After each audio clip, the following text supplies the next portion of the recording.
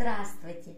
Сегодня мы приготовим весенний витаминный салатик со свежими овощами и крабовыми палочками. Нужное количество ингредиентов я напишу в описании. Итак, мелко шинкуем капусту, также мелко нарезаем другие овощи и крабовые палочки.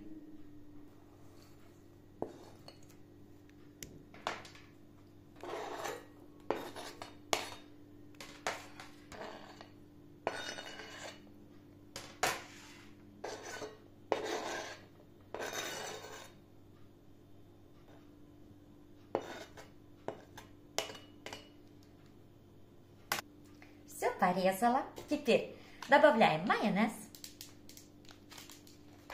Солим по вкусу. И все перемешиваем. Вот такой вот классный получился весенний салатик. Очень вкусный, витаминный и хрустящий. Попробуйте приготовить. Приятного всем аппетита!